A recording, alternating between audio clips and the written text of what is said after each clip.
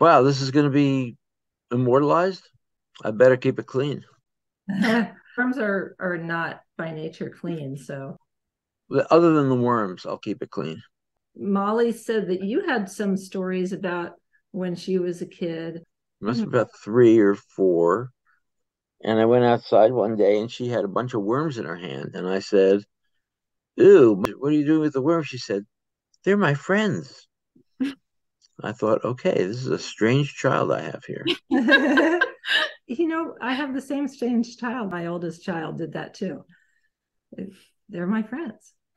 Yeah, they're okay. Well, you know, you know, worms is a good place to start.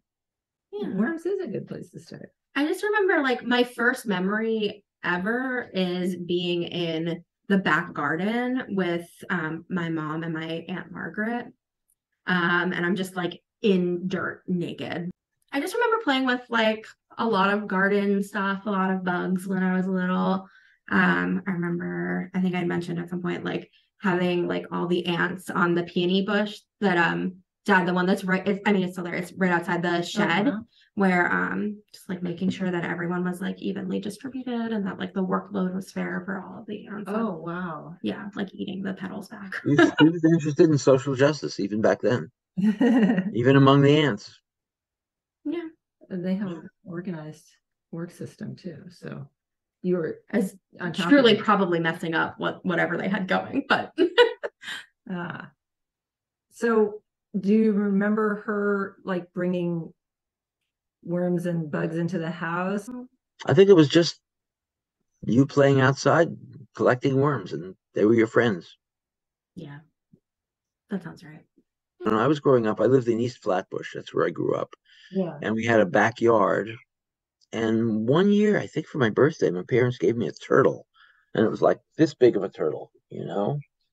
And he lived in the backyard. And then at one point, he wasn't there anymore, you know? And I guess he decided to explore Brooklyn. the rest of Brooklyn. Oh, he didn't have like a, a terrarium or anything. He just was he. he no, he just. I mean, this is how I remember it. He just. We had a fenced-in uh-huh. backyard. And you fed him, or he just foraged.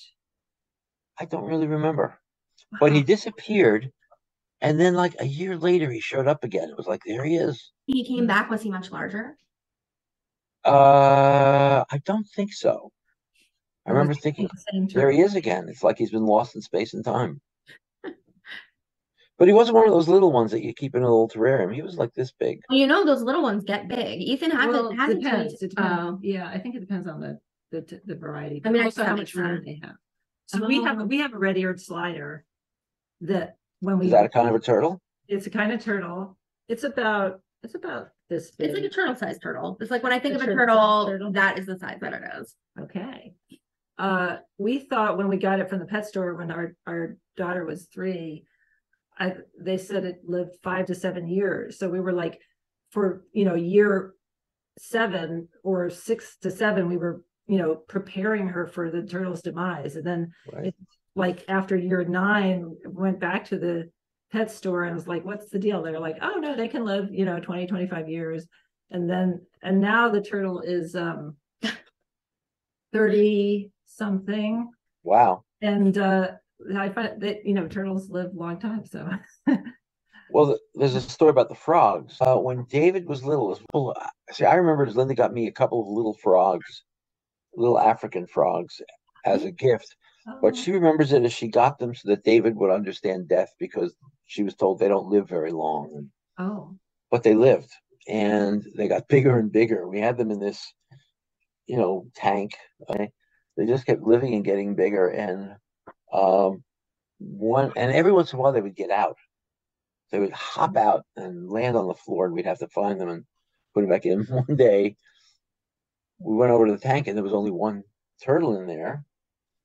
And I looked around, and there was like a couple of spots of water leading to the leading to the dog. And I looked at the dog, and the dog went. Oh my god! I thought, oh my god, that's where the frog went dog just had that guilty look on his face. Uh-oh. Brownie. It was Brownie. Brownie was the dog or the frog? Mm-hmm. No, Brownie was the, the frog. One of them was named Mr. Big, and I forget what the other one's name was. Was Molly a good guest? too much fun. we had a good time. She she went in the worm bin with me. He has these worms that are like this freaking big. They're so cute. I remember there were people who were talking about investing in worms as a some. It was something to do with, you know, conservation, and Yeah, sure. it was going to be a uh, a future industry, but it never seems to have. Well, I don't know. People say that, that you can actually make money uh, doing worm farming, but I'm not in it for that. I am in it for conservation reasons. Right. Global reduces my garbage and global warming, and also provides really good soil, very healthy soil. So It doesn't even smell bad. Well, Molly, bring home some nice soil, okay? No. She's a, she's a she's a top-notch gardener now. oh, I didn't hear about that.